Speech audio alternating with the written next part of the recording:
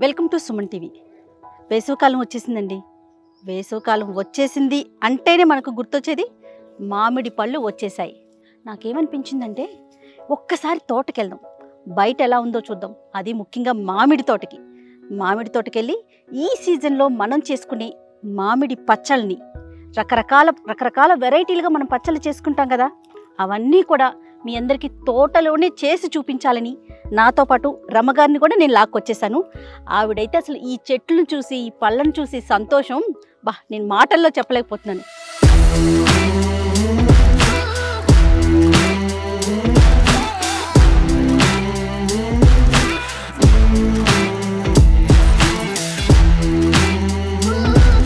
ఇవేంటి రమ్మగారు ఇది ఇది అంటే ఏం మామిడి అంటాం దీన్ని? రసాలు.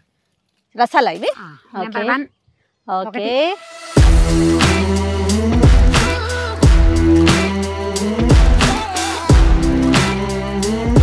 కానీ తోటలో ఉన్నాం కదా. మీరు కిచెన్లో అడిగినట్లుగా అన్ని పర్ఫెక్ట్గా ఉండాలని మాత్రం అడగకూడదు రమ్మగారు. కొంచెం అడ్జస్ట్ అవ్వండి అంతే.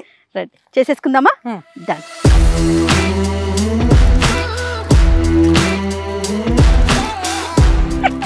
తల్లి గొబ్బెమ్మ పిల్ల గొబ్బెమ్మ.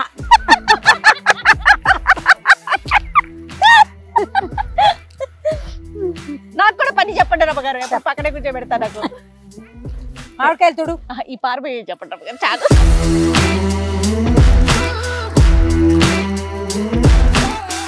రమ్మగారు మొత్తం తుడిచేసాను ఐదు కాయలు అనుకున్నాం కదా? ఒకటి పెద్దది వచ్చిందండి. ఆ, పర్వాలేదు కట్ చేసేద్దాం. ఓకే. మనం చేయగలుగుతామా రమ్మగారు? ఈ తోటలో నిమ్మకాయలు ఉన్నాయి చూడు ఎంత బాగున్నాయి. బాగున్నాయి. ఇది షామీర్పేట దగ్గర ఉన్న తోట అండి. మనం రెగ్యులర్గా రైతు కంటెంట్ చేస్తామన్నమాట. ఈ రైతులతో చేస్తూ ఉంటాం. ఇట్లా నేను మామిడి పచ్చడి చేద్దాం అనుకుంటున్నామండి అనగానే. వావ్. బాగుంది కదా? ఒకటే దెబ్బ. ఆ.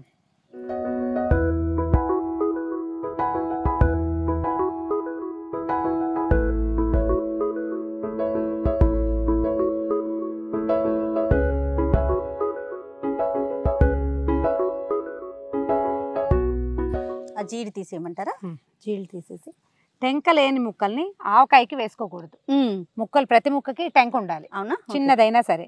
ఇది మున్నదాన్ని మనం చిన్న ముక్కలు పచ్చడి పెట్టుకుంటాం కదా. అందులో వేసేసుకుందాం. ఓకే. దీనికి ఒడుపు కావాల్సిందే అక్కడే. రమ్మగారు ఆ. చక్కగా కాయలు తెంచుకున్నాం కడుక్కున్నాం కట్ చేసుకున్నాం. ఐదు కాయలు అండి ఇవి. ఐదు కాయలు ముక్కలు కట్. చేసుకున్నాం. టెంకి కట్టింది కదా రమ్మగారు? కట్టింది. ఈ పైన ఒక టెంక పైన ఒక రేపర్ లాంటిది. ఉంటుంది కదా? వైట్గా. ఇదేంటంటే మనం బజార్లో కనుక కట్ చేయించుకొచ్చుకుంటే ముక్కలు కడగలేం కదా? కడగకూడదు ఆవకాయకి అసలు తడి తగలకూడదు. అందుకని ఏం చేయాలి? ఇంటికి వచ్చాక శుభ్రంగా గుడ్డబెట్టి బాగా తుడిచి కొంచెం ఆరిపోనిచ్చి అప్పుడు పచ్చడి కలుపుకోవాలి. ఇది మనమే కట్ చేసుకున్నాం కాబట్టి.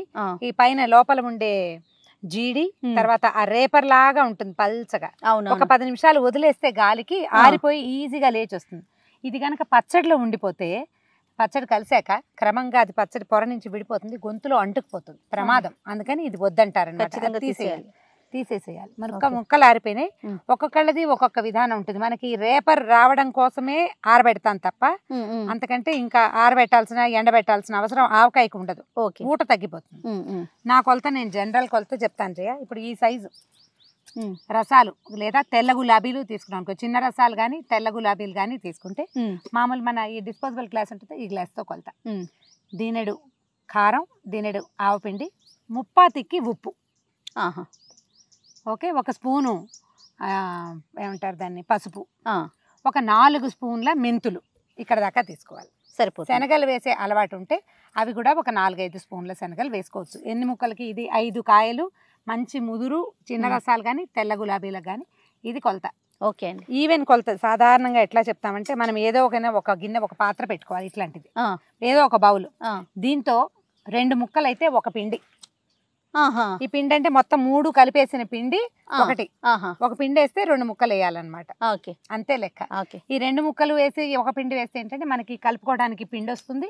ఆ ముక్కలు ఆ పిండి సరిపోతాయి. ముక్కలు ఎక్కువ వేసుకున్నాం అనుకో మూడు ముక్కలు వేసామనుకో పిండి తక్కువ అన్ని ముక్కలు ముక్కలు నూనె నూనెగా ఉంటుంది. ఓకే అండి. పిండి కలవాలంటే మనకి రెండు ఖచ్చితంగా వేసుకోవాలి ఒక ఫుల్ సరేనా? చేసేద్దామా? స్టార్ట్ ఈ ముక్క కడుక్కోవటం ముక్కలు కోసుకోవటం ఇదే పని కదా రమ్మగారు స్టార్ట్ పని. చేస్తే? అంటే ఇది వరకు పెద్ద పని ఏమి ఉండేదంటే మనకి ఇవన్నీ చే ఆవపిండి కారము గ్రైండ్ చేసుకుని సొంతంగా పెట్టుకునే వాళ్ళము ఇప్పుడు మనం ఇవాళ తోటలో చేస్తున్నాం కాబట్టి అన్ని ప్యాకెట్లతో చేస్తున్నాం. నేను ఇంట్లో అయితే పట్టించుకుంటాను. ఆవపిండి పట్టుకుంటా.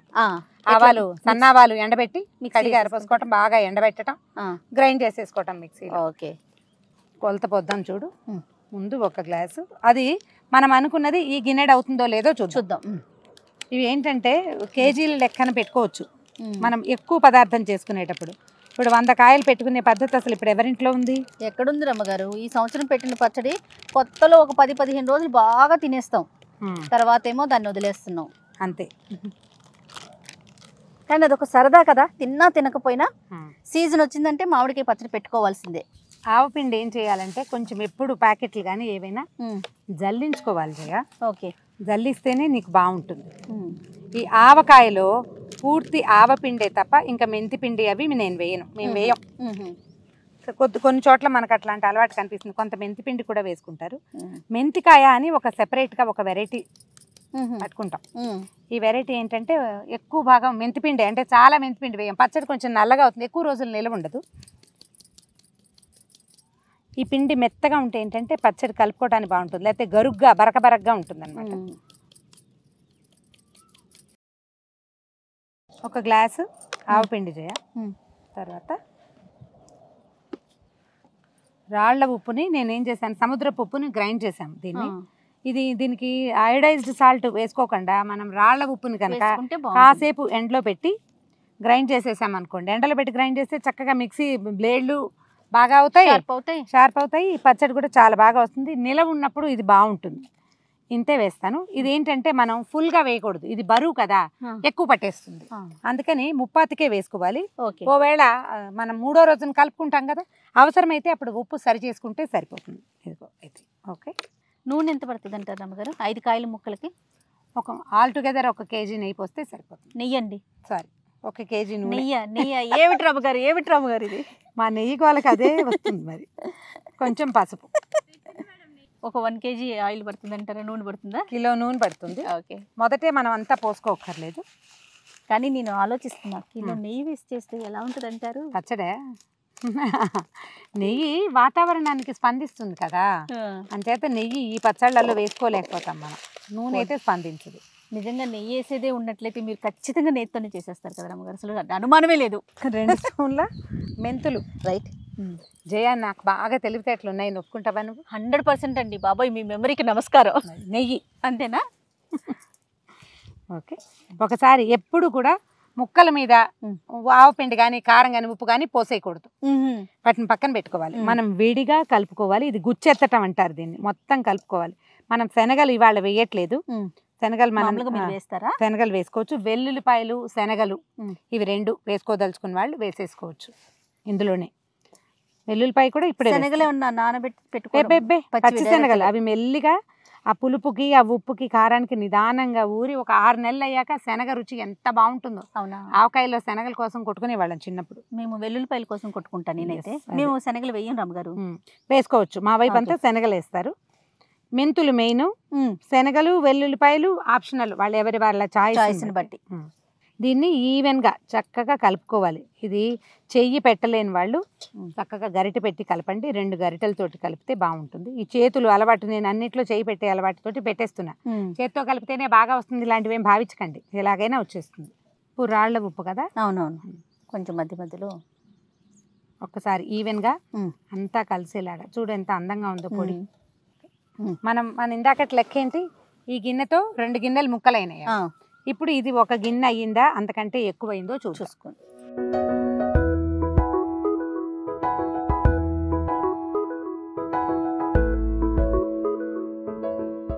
మనకి ఇంకా ఎక్కువ పిండి కావాలంటే ఫుల్గా చేసుకోవచ్చు. ఇది ఈ ముక్కలకి సరిపోతుంది. అదే లెక్క. ఇప్పుడు ఎందుకంటే ముక్కలు అన్ఈవెన్గా ఉంటాయి. అవును. పిండి చూడు ఈవెన్గా కుదురుగా కూర్చుంది కదా. మెయిన్ జనరల్ మెథడ్ ఏంటంటే వీటికి కాస్త నూనె పోసి అట్ట పెట్టుకోవాలి. పచ్చి నూనె పోస్తే ఏమవుతుంటే ముక్కలు కరుగ్గా అవుతాయి. ఎక్కువ కాలం గట్టిగా ఉంటాయి. ముక్క మెత్తపడకుండా ఉండాలి. ఆవకాయలో ఏంటంటే ముక్కలు మెత్తపడకుండా ఉండటమే దీని మెయిన్ అవును. మోటో. అవును. మనం నువ్వుల నూనె. వేసుకుంటే బాగుంటుంది. ఇవాళ రేపు చాలా మంది పప్పు నూనె వేసుకుంటున్నారు. గానుగు నూనె దొరుకుతుంది కదా. నువ్వుల నూనె కనుక వేసుకుంటే పచ్చడికి లైఫ్ వస్తుంది. ఎక్కువ రోజులు ఎక్కువ రోజులు నిలవ ఉంటుంది. రుచి బాగుంటుంది. దీంట్లో వేసేద్దాం. నూనె పోసేస్తే ఏమవుతుందంటే ముక్కలు మనం మొదటే వీటిని కాసేపట్లా నాననివ్వాలి. మనం ఏ బాటిల్లో వీటిని పెట్టదలుచుకున్నామో అందులో ఎట్లా చేయొచ్చు అంటే ముందు కాస్త పిండి పోయటం ఈ నూనెకి తడిసిన ముక్కల్ని దాని మీద కాసిన వేయటం. మళ్ళీ పిండి. మళ్ళీ ముక్కలు ఇట్లా పేర్చుకుంటూ వస్తామన్నమాట. పేర్చేసి పైన కొంచెం నూనె పోసి మూత పెట్టేసేయాలి మూడు రోజుల పాటు. థర్డ్ డేనా మొత్తం పచ్చడి మనం ఇది మొదటే వచ్చి- జాడీలోకి ఎత్తేయకుండా. ఏదైనా వేరే చిన్న డబ్బాలోకి పెట్టుకుంటే తర్వాత మూడో రోజు మొత్తం పైకి కిందకి కలిసి సరిపడా నూనె పోసేసుకుని ఉప్పు సరి చూసుకుని అప్పుడు జాడీలోకి ఎత్తేసుకోవచ్చు. సింపుల్ మెథడ్ ఓకే అయితే మనం ఏం చేస్తున్నామంటే మనం ఇప్పుడు తోటలో ఉన్నాం కదా అవునవును. మన జాడీలు డబ్బాలు అలా ఏర్పాటుగా చేయటం లేదు. స్టూడియోలో అయితే అలా చేసేవాళ్ళం. మనం ఇక్కడ చేస్తున్నాం కాబట్టి ఇందులోనే కలిసి కలిపేసి చూపించేది ఓ, ముక్కలు కలిపేస్తారా? ఇది పెద్దదిగా ఉంది ఇది చూడండి. పెద్దది.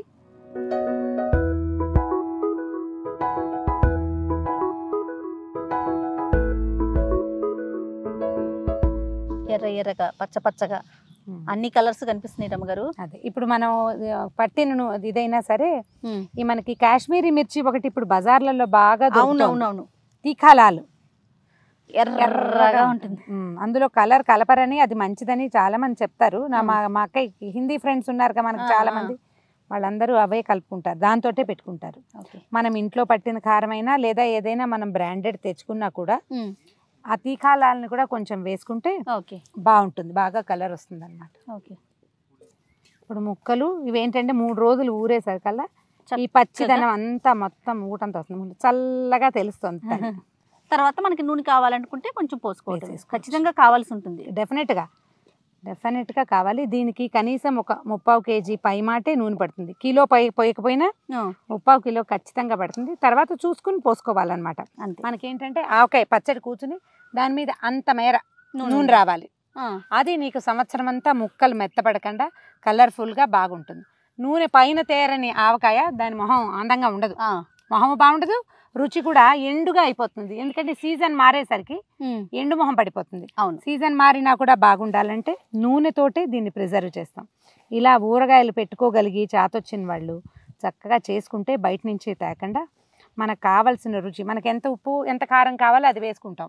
ఒకవేళ మనకి బీపీ ఉంది ఉప్పు తక్కువ వేసుకోవాలి సగం ఈ ఉప్పు వేసుకుని సగం పింక్ సాల్ట్ వేసుకోవచ్చు. అంతే. నిలవ ఉంటుంది. పూర్తి పింక్ సాల్ట్ మాత్రం నిలవ లేదు చేయాలి లాస్ట్ ఇయర్ నేను పెట్టాను. పింక్ సాల్ట్ మీరు? పెట్టాను నాకు పెద్దగా నచ్చలేదు. చివరి దాకా లేదనిపించింది అంటే దాని మొహం బాగులేదన్నమాట. ఓకే. హాఫ్ ఆఫ్ వేసి చూశాను తర్వాత రెండో పచ్చడికి. అది చక్కగా ఉంది ఇప్పటిదాకా. నిన్న మన ఆఫీస్లో అందరూ తిన్న పచ్చడి పింక్ సాల్ట్ వేసింది. కొంచెం మరి కాస్త వేసుకున్నా బీపీ పెరగకుండా ఉంటుందని అట్లా చేస్తాం. ఓకే. సరే ఇవాళకి మనం బాటిల్లోకి సర్దేసి అట్లా పైన నూనె పోసేద్దాం. దీని తన సంగతి తర్వాత చూద్దాం ఇంకా. అయిపోయింది మన ఆవకాయ పచ్చడి. దీనికి. మాటలు ఎక్కువ ఏర్పాట్లు ఎక్కువ. అసలు క్రియ చాలా తక్కువ. కానీ. ఆ మెజర్మెంట్స్ కొలతలు ఉన్నాయి చూసారా. అవి మాత్రం కొంచెం ఫాలో అవ్వాలి. కదా రమ్మగారు అవును. ఎందుకంటే నిల్వ ఉండాలి కదా. సొంతంగా పెట్టుకోదలుచుకున్న వాళ్ళకి ఇంట్లో పెట్టుకుంటాము. మీరు ఒక ఐదు కాయలు పెట్టుకుంటే ఇప్పుడు కనిపిస్తుంది కదా ఇందులో పచ్చడి. అంత పచ్చడి ఖచ్చితంగా వస్తుంది. దానికల్లా ఇప్పుడు నేను స్టీల్ గ్లాసులు మా ఇంట్లో గ్లాసు చూపిస్తే తెలియదు డిస్పోజబుల్ గ్లాసులు మనకు తెలుస్తాయి కదా. వీటికి కొప్పుగా నిండుగా పోసుకోవాలి. ఒక ఫుల్ ఉప్పు ఫుల్ ఆవపిండి ఫుల్ కారం ముప్పాతిక ఉప్పు. ఒక ఇక్కడ దాకా ఈ గీత కనిపిస్తుందా? అక్కడ దాకా పసుపు మెంతులు శనగలు వెల్లుల్లిపాయలు అన్నీ అక్కడ దాకా. అవి చేసి కలిపేసుకోండి. చాలా సింపుల్గా కొత్తగా బజార్లు ఇప్పుడిప్పుడే పెళ్ళి అయిన వాళ్ళు లేదా బ్రహ్మచారులు రూమ్లో ఒంటరిగా ఉండే వాళ్ళు కూడా చేసుకుని పెట్టేసుకోవచ్చు. సీసాలో పెడితే ఇక వెతుక్కోక్కర్ లేకుండా ఇప్పుడు కావాలంటే అప్పుడు తీసుకుని వేసేసుకోవచ్చు. పెట్టేసుకుందాం రమ్మగారు బాటిల్లో పెట్టేద్దాము. దీనికి జ్ఞాపకం పెట్టుకుని ప్లాస్టిక్ డబ్బాలలో పెట్టబోకండి. ఉమ్, మొదట కలుపుకునేటప్పుడు మనం ఇట్లా ఏదో స్టీల్ బౌల్లో కలుపుకుంటాం. మొదటి మూడు రోజులు ఉంచుకోవచ్చు స్టీల్ దాంట్లో. ఏం భయం లేదు. త్రీ డేస్కి ఏమీ అయిపోదు. పాడవదు. పాడవదు. స్టీల్ డబ్బాలో కూడా గట్టి డబ్బా అయితే పెట్టేసుకోవచ్చు. తర్వాత మనం మూడో రోజున మార్చుకుంటాం కదా నూనె. వేసుకుని. అప్పుడు మనం ఏదైనా గట్టి దాంట్లో ఒక జాడీలో కానీ ఇట్లాంటి బాటిల్స్లో కానీ పెట్టుకోండి. ప్లాస్టిక్ డబ్బాలు అవాయిడ్ చేయండి. వాటి ఖరీదు తక్కువకు దొరుకుతాయి కానీ మన ఆరోగ్యం కంటే ఏ ఖరీదు ఎక్కువ కాదు. ఈ నిల ఉండే పచ్చళ్ళని ఆ ప్లాస్టిక్ వాటిలలో వేయద్దు. ఇది ఏడాది పాటు ఉంటుంది కదా ఊరగాయ కదా ఇది. దీన్ని పచ్చడి అనకూడదు. ఊరగాయ అనాలి. ఇప్పుడు మనకి ఇట్లా పిండి పిండిగా కనపడుతుందా. మూడో రోజుకి ఇదంతా ఊరిపోయి ఐదు కాయలు పెడితే పచ్చడి. ఇదిగో ఇంత వస్తుంది ఈ ఆవకాయ. ఇందులో మనం ఇంకా కాసిన వెల్లుల్లిపాయలు శనగలు అవి వేసామనుకో ఇం- మరి కాస్త మరి. కాస్త వస్తుంది. ఒక్కసారి ఈ పిండి అంతా నూనె. పోసుకుని తుడిచేసుకుని పోసేసేద్దాం. మనం ఇలాగే వదిలేయచ్చు కూడా. ఓకే. మూడో రోజున చూస్తాము దీని సంగతి.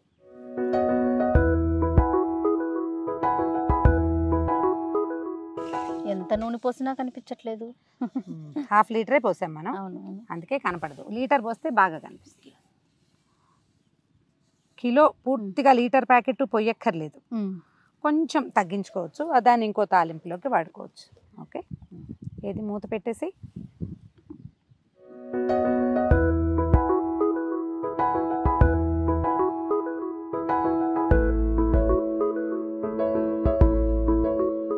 థ్యాంక్ యూ సో మచ్ రమ్మగారు థ్యాంక్ యూ జయ చూసారా? మామిడికాయ పచ్చడి రెడీ అయిపోయింది. చక్కగా మూడు రోజులు స్టోర్ చేసుకొని తర్వాత జయ- ఉండండి జయని కరెక్ట్ చేస్తాను. మామిడికాయ పచ్చడి అనకూడదు. ఆవకాయ రెడీ సంవత్సరం పాటు నిలవ ఉంటుంది. తడి దీంట్లో నుంచి వస్తువు తీసుకునేటప్పుడు తడి స్పూన్లు పెట్టకూడదు. అది తడి. చేతులు తగలనివ్వకూడదు. తీసి టేబుల్ మీద పెట్టుకోకూడదు. దీన్ని లోపల ఉంచుకోవటం చిన్న దాంట్లోకి చిన్న బౌల్లోకి గరిటతోటి తీసుకోవాలి. పొడి స్పూన్లు పెట్టి జాగ్రత్తగా పడితే సంవత్సరం పాటు హాయిగా నిలవ ఉంటుంది మళ్ళీ వచ్చే ఏప్రిల్లో కొత్త పచ్చడి పెట్టుకుందాం. అంతే కదా? రమ్మగారు ఏం చెప్పారో అవన్నీ ఫాలో అయిపోదాం. Thank you so much.